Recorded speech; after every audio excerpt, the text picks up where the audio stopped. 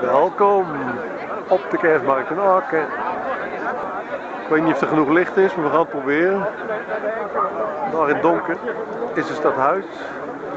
En hier zien we mensen die vooral veel eten en drinken. Nee, de woont maar wat langer. Veel eh, Duits gepraat, maar dat gooi je vaker in Duitsland. De kerstmarkt in Aken.